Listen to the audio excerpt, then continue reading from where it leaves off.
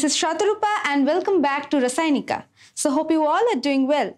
So today our topic is top 10 secrets that how we can ask our inorganic chemistry with respect to CSIR chemical science. Okay, so inorganic chemistry is such a branch of chemistry that every student feels it uh, very very difficult subject because they feel there are lots of informations huge amount of uh, in, uh, reactions mechanisms formulas e equations etc so they feel that uh, they need to mug up the things with respect to uh, this inorganic, inorganic chemistry. So basically uh, i will suggest you this is not an such a subject that you need to mug up so if you understand the basic concepts regarding these all things, uh, there's lots of concepts and lot of techniques. If you follow one by one those, it will be very, very easy for you to uh, read these subjects and to have a very good strength in this inorganic part.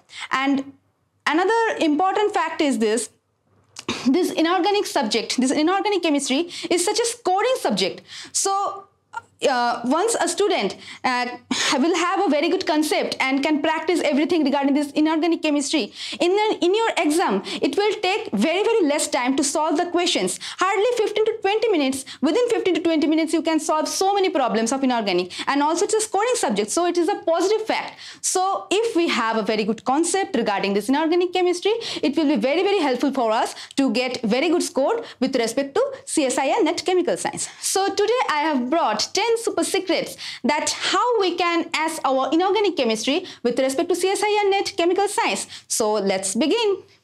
Our first important secret, our first point is understanding the periodic table. So basically, we all know that periodic table is the base of inorganic chemistry. If you really, really want to have want to have a very good strength in your inorganic chemistry, you should start from your basic. So if we don't know how many elements are present around us and what are the basic principles, how they works, how they reacts and what are the basic uh, natures and properties, general periodic trend. If we don't know regarding this, so it will be very, very, very, very hard for us to by heart everything or to understand the inorganic chemistry. So I will suggest you if you really, really want to have a very good strength in inorganic chemistry, always start with the periodic table because you because you have to learn this periodicity first. So actually there are so many sh uh, shortcut techniques that how we can remember the periodic table. It is very very important to remember the whole periodic table. But how we can remember? How we can by heart those things? Yes there are so many simple techniques. So let me show you one thing. Yeah this is the periodic table, right?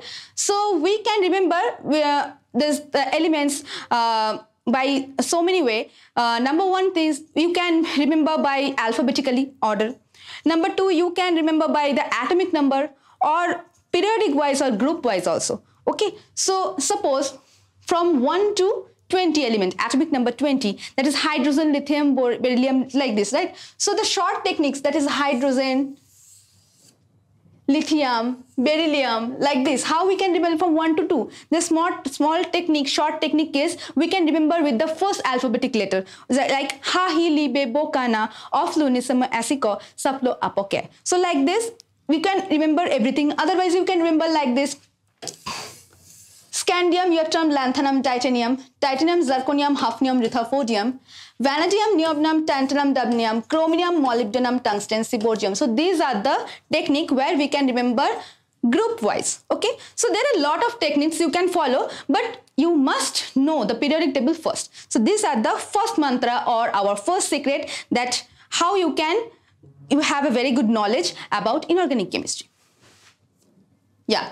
Secret number two our secret number two is understanding chemical bonding. So this is another important fact is the another basic of our inorganic chemistry is chemical bonding. So if we don't know how the how there are uh, what are the type of the actually the bonding present among the molecules or atoms what the type of bondings are the covalent or inorganic or uh, ionic bonding or what are the nature general periodic trend or what are the actually facts regarding their elemental states or their anionic or whatever we can say anionic state.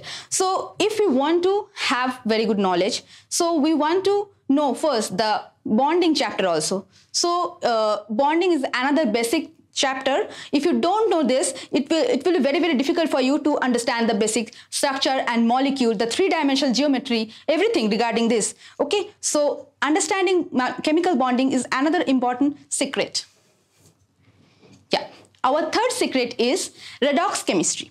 So basically, students think that inorganic chemistry consists of large, lots of huge, huge amount of informations and also so many equations, lots of um, uh, balanced equations, formulas, uh, molecular structures. There's so many things are there, right? So they feel that uh, they start avoiding this inorganic chemistry because they feel that they need to mug up everything. But the fact is there is lots of concepts of basic things. If you really, really understand the basic facts, it will be really, really helpful for you to understand or to learn these things. Uh, you don't need to mug up everything. Okay, so don't try to mug up, just understand the basic concepts. So the fact is redox chemistry is another basic fact. If you really, really know how the element can ch change their elemental state, how they in changes their oxidation state, how the charges of the metal on the metal center can increase or decrease. So then it will be easier for you to correlate with the fact that how the metal center or the one element can associate with another element, same element or different element or whatever we can say they can attach with another ligand or metal center or anything. So suppose that's that's how they can react and they can form a new product. Like okay so so many complexes or compounds. So as a result so basically if you know the basic things how the changes what is the fact how then what are the number of electrons how the changes the basically redox chemistry everything regarding this redox chemistry basically redox thing okay? So it will be very very easier for you to grasp the whole subject okay? So these are our third secret yeah our fourth secret is make your own flowchart or tables yeah, inorganic uh, chemistry is definitely it consists lot of equations, lots of balance equation, lots of uh, chemical formula, lot of informations actually. So yeah, at, at, a, at, a, at, a, at, an, at an level, you all, always you have to mug up things. But uh, if you really, really have an understanding, if you have good knowledge about the subject, it will be easier for you to uh, to know the subject and to have to solve the problems regarding those, right? So an easy technique is just while reading everything, make your own flowchart. Own flowchart means wherever, suppose like reaction mechanism you are reading. So every, uh, suppose every reactions you are writing here and there in a table format or in a flowchart format where you can write every reagents also the mechanism and the examples also. Okay so that's how this is easier technique how you can remember how you can memorize. And if you follow this technique it um, i will definitely i will assure you that it will stay uh, towards a longer time in your mind. Okay so basically this is a our secret number four just to just to make your own flowchart or table to learn or to read everything. Okay our secret number five. So secret number five is start reading good books. So basically reading good books are the very very important fact so student must read very good important things it must be a very good habit for every student because uh, if you don't learn or don't read the good books then there will there is there is a chance to have so many misconceptions or uh, very, uh, very, very much, very, so many confusions, okay, regarding the term, scientific terms, regarding the fact, the concepts regarding those. So it is very very important to verify the knowledge whatever we are reading whatever we are gaining. Uh, it is not enough just to go through the uh, topic or just read from uh, from uh, whatever you are attending any lecture class lecture from youtube or whatever everywhere. So it's not enough just to have the information regarding everything class lectures. So it is very most important thing is just to follow any uh, standard book textbook also beyond the textbooks that is the reference books because uh, in the books there is so many scientific terms right? And also you can verify the information whether it is correct or not. So just to have uh, a very depth knowledge about the particular subject so to understand those so it is very very important to start start reading good books. So here I have brought some important inorganic books, books regarding all the topics where uh, whatever the question comes from the in, in uh, CSIR chemical science. So our first book is Inorganic Chemistry, Principle of Structure and Reactivity by James E. Huheey. Huheey, Ellen A. Keiter, Richard L. Keiter. So basically, Huheey and Keiter Keiter. This is the main important book for the CSIR with respect to CSIR net chemical science because lots of question every year, lots of question are coming from those books. Just uh, just direct questions. So this book uh, book is very good book. So we can refer this book. Another book is also J.D. Lee, that is Concise Inorganic Chemistry by J.D. Lee. It's also another important book. You can refer also this book. And moreover, I also say, I want to say two another books are General and Inorganic Chemistry by R.P. Sarkar and also Fundamental Concepts of Inorganic Chemistry by Ashim Kumar Das, that is AKD. These two books are really, really very good. All the concepts regarding bonding, redox and everything, molecular orbital diagram, everything, coordination chemistry are very good there. So you can refer these books also. You have the few books you can refer and there are more than enough just for the your preparation regarding chemical science CSIR. Okay? Yeah. Our next secret is secret number six that is make your own notes. Yes making your own notes is very important because uh, whatever you are reading from where you are collecting the information lots of information it is very very hard to remember for a for a longer period of time right? From where you have collected lots of information. So i want to suggest to every student that just maintain a notebook where you can collect all the informations all the important notes in concise manner really really concise manner. In a concise manner where within one or two pages you can cover all the chapters where you can write all the units regarding those all the formulas all the reagents all the main concepts whatever you have collected from so many books referring so many books or collected from many video lectures or you can attend so many classes. Okay so just maintain that notebook because it is very very helpful for you uh, because whenever you want to revise those things just before you exam just before you seven days just before the before the night of your exam. So it will be really really helpful for you. Just turn, turning over the pages you can go through every points regarding those and it will be very very helpful for you to revise with respect to revision okay? So making making your own notes it's an art. I will suggest to it is an art because uh, to make your own note in concise manner really really uh, hard but it is as um, as long as long as I can say that it is very very good also. So you can do this uh, while preparing with respect to inorganic chemistry and whatever you can learn. So making your own notes is very very important and this is I will suggest this is our secret number six. Okay. Our seventh secret is practice and memorize by writing as much as you can. Yes, we all know practice makes a person better. Okay so as much as you can practice, so it will be very, very helpful for you. So we all know that inorganic chemistry consists of lot of chemical reaction, lot of balance equation, lots of informations, lots of formulas are there, right? So it is a useful technique. I will suggest you just practice everything just as much as you can just as pos as much as you can just write those okay so it will be very very helpful for you to remember so uh, because uh, we all know uh, inorganic chemistry is such a branch of chemistry where it uh, consists lots of information. So so not only it is not enough just to understand those things you should practice all those in daily manner okay daily basis. So uh, it is very very useful technique that i will suggest you just practice daily and write as much as you can the formula chemical formula chemical equation. Then you don't need to mug up everything right? The balance equation also. You don't need to mug up. Students already students often uh, get afraid of about this because they feel that they need to mug up the chemical re reactions the equations everything. But if you daily basis, if you practice, you write, write everything, it will be very, very helpful for you to remember or to recall everything, okay, for longer period of time. So our seventh secret is as much as you can practice in daily basis. Number eight, focus more on different important topics for CSIR.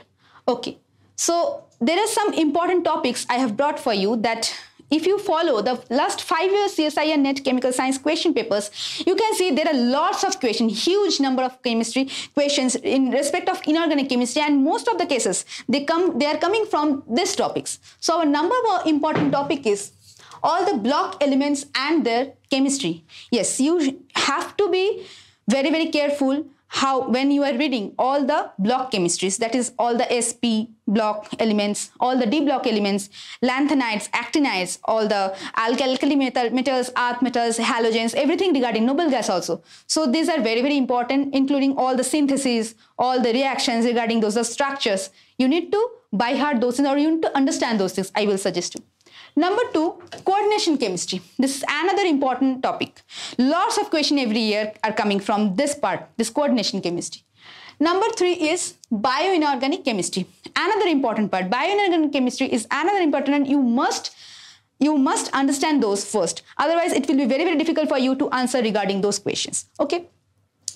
Number four is organometallics. Yes, another chemistry is organometallic chemistry. It's very, very important topic because so many cages structures, so many, uh, uh, you have to uh, find so many structures of the molecules uh, with the help of Mingos' rules or whatever, boron chemistry regarding everything. So this is another important chapter.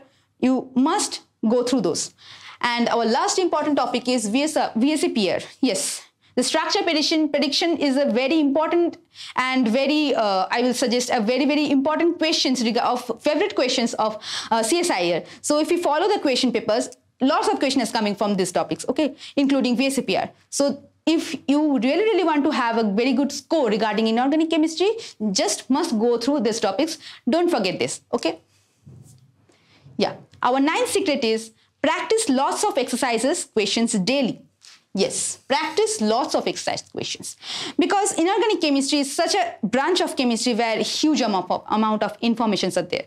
So it is really, really important for you to practice everything. And once you complete all the to have all the concepts to have all the concepts regarding every chapter then you must practice every exercise regarding those topics okay? And once you finish it is really really important to solve all the pyqs yes previous year questions plays a very important role regarding this okay? So just follow the tips and also solve all the uh, previous year questions and practice as much as you can in the daily basis okay? So this is our ninth secret yeah, our 10th secret is join the mock or test series.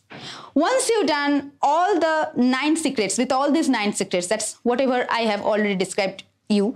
That is, once you have done all the secrets, you have done all the concepts regarding all the chapters, you have covered everything. So then I will suggest you just you need to join any type of mock tests, whatever they our Rasayanika team, uh, they, they, are, uh, they actually are bringing so many important type of courses and also regarding UCSC NET exam and also so many uh, important test series also. So you can join those test series also. And whatever you can we want to join but it is very very important to join any type of test series, test series because a test series plays a very important role to uh, to get to uh, to get your very good score in CSIR NET chemical science. Okay. So uh, whatever uh, you have done, whatever you have prepared. So I will suggest you once you finished, revise everything, uh, do join any type of test series and it will really, really help. How? Because it will improve your speeds as well, attempts also. It will correct your uh, so many mistakes